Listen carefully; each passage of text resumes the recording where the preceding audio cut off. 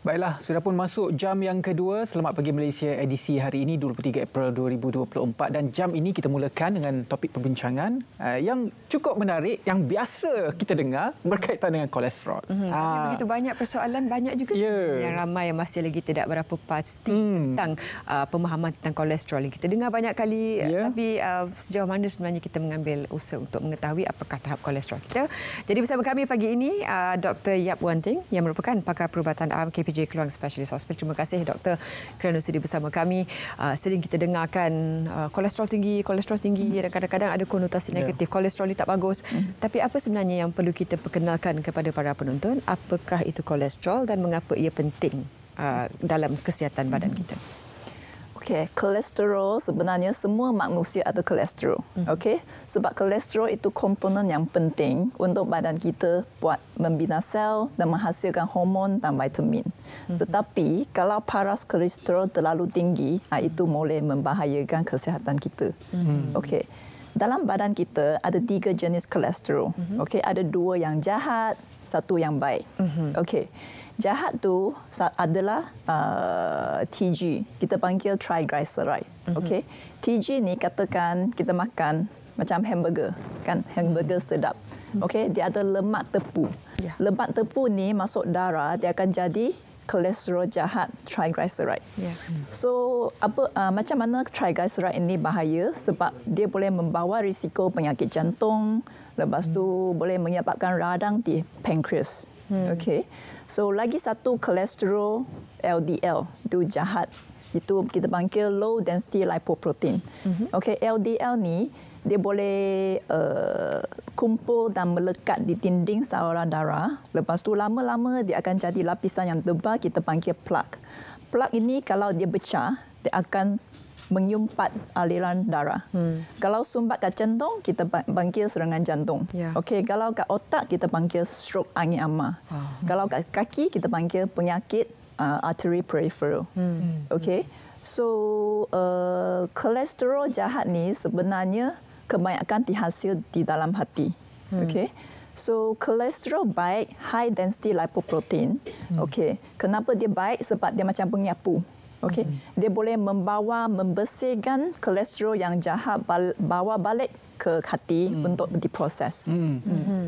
Bagaimana untuk kita mengawal kolesterol jahat dan juga kolesterol baik itu supaya berada pada tahap yang betul dan mm. juga optimum dalam badan? Okey, um, okey, macam mana nak kontrol mm. kolesterol? Okey, first yang paling penting uh, itu gaya hidup. Mm. Okey, gaya hidup uh, contohnya pemakanan. Okey. Pemakanan yang tak sihat. Kebanyakan makanan yang sedap. Okay. For example, ayam goreng, hamburger, french fries, mm. pizza, cake, okay, muffin, donut uh, dengan daging merah yang terlebih ataupun lemak yang terlebih. Mm-hmm. Okay. Mm-hmm. Lagi satu, kurang physical uh, activity. Okay. So, kena sentiasa exercise. Okay kalau tak jaga makan, kalau tak control, uh, tak exercise, dia akan jadi berat badan naik. Mm-hmm. So berat badan naik, dia akan menyebabkan obesity. Yeah. Okay. So lagi yang contohnya penyakit itu uh, kronik. Uh, contohnya kencing manis, mm. okay. Penyakit buah pinggang, penyakit thyroid. Kalau tak kawal, dia ada berkaitan dengan kolesterol tinggi juga. Mm-hmm. Lepas tu merokok.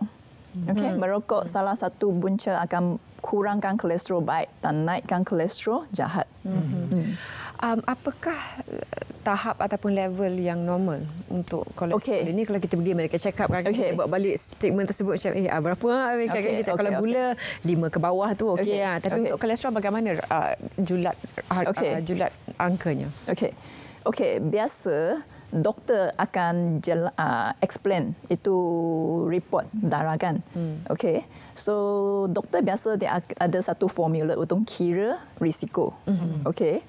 Uh, dia ikut umur, dia ikut ada rokok dia tak, hmm. tekanan darah, okay, jantina, yeah. okay, ada kencing manis atau darah tinggi ke tak. Okay dia akan uh, membahagikan kepada risiko yang rendah, risiko yang sederhana dan risiko yang tinggi. Okey.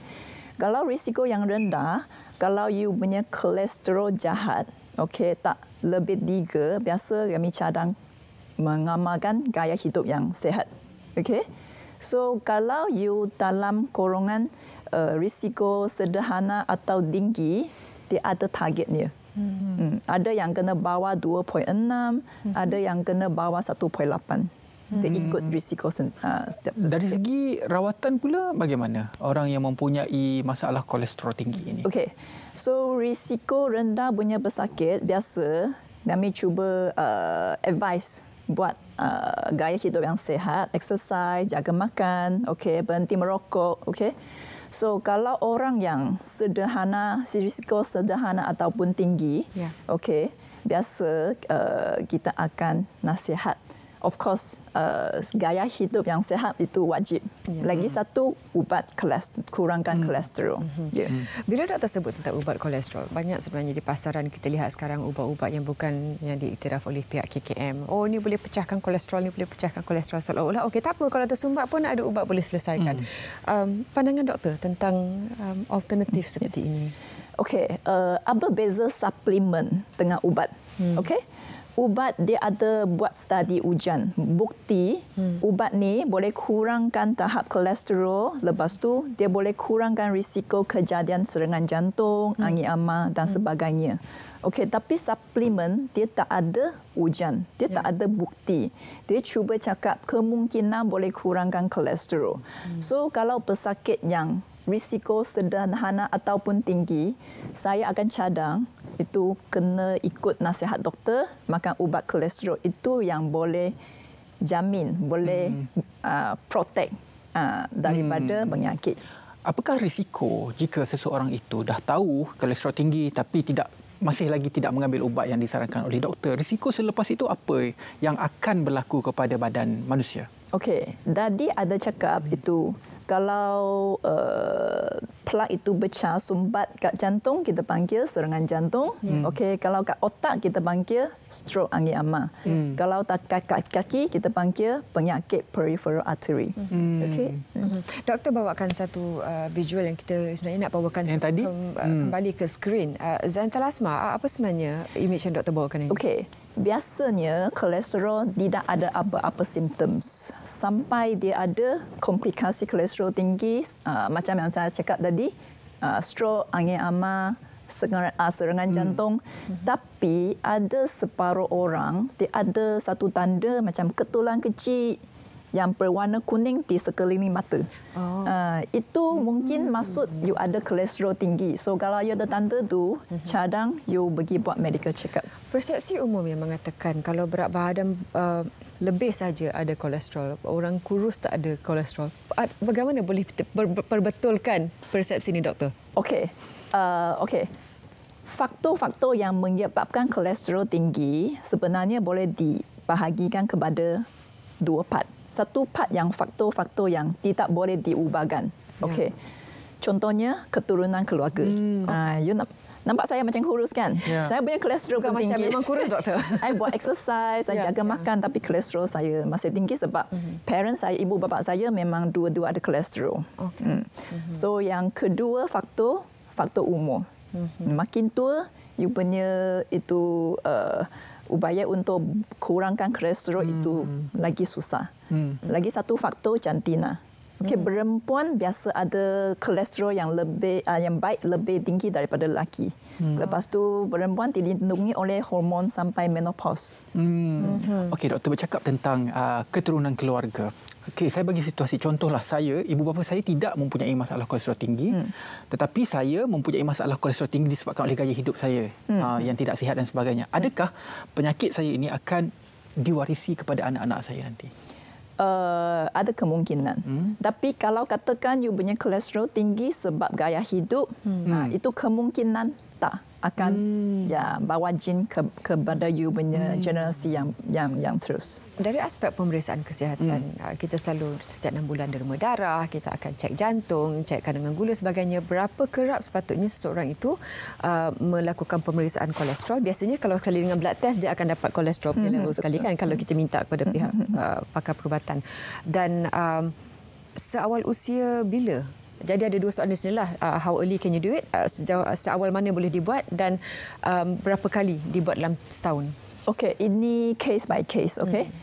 Uh, biasa kat Malaysia kita cadang uh, 30-an atas uh, you boleh start saringan. Hmm. Sebab uh, bukan kolesterol saja you kena buat saringan darah tinggi, yeah. saringan kolesterol dengan kencing manis. Hmm. This yang basic, okey. Hmm. So uh, kalau katakan you umur 30 tahun you kena pergi buat check dia report normal, hmm. okey. Biasa tak bayar tiap-tiap tahun kena buat hmm Mungkin 2 3 tahun sekali. Okey. Okey, mm-hmm. tapi kalau you ada penyakit jantung, you ada angin ama, you ada kencing manis, uh, you kena buat pantauan yang lagi kerap. Hmm. Contohnya enam bulan sekali ataupun setahun sekali. Kerap kena, juga tu. Ya, sebab dia kena tengok you punya target hmm. uh, kolesterol atau dicapaikan ke tak hmm. dengan ubat. Ya. Yeah. doktor, uh, soalan terakhir. Katakanlah seorang pesakit itu telah pun diberikan ubat. Adakah ubat itu akan dimakan uh, selama-lamanya macam ubat darah tinggi ataupun bagaimana uh, cara prescription, uh, prescription uh, ubat uh, kolesterol ini? Okey. Uh, kat klinik saya selalu uh, nampak pesakit kan dia makan ubat kolesterol. Lepas tiga bulan dia pergi cek. Okey, tahap sudah cantik. Dia happy. Lepas tu dia berhenti ubat, dia cakap sudah okey. Yeah. Lepas tu tak lama lagi uh, dia Spike mengalami Spike. stroke. Oh, uh, ada stroke ada kes sebabnya tu. Uh, sebab dia berhenti ubat. Uh-huh. So uh, sebenarnya kolesterol 20% daripada sumber makanan. Okey, yeah. 80% dihasilkan di hati. Okay. So katakan you sudah ada gaya hidup yang sehat, tapi kolesterol masih tinggi, you kena ubat kontrol. Ubat tu cuba kontrol kolesterol yang uh, dapat di hati. So katakan you berhenti, kolesterol akan naik.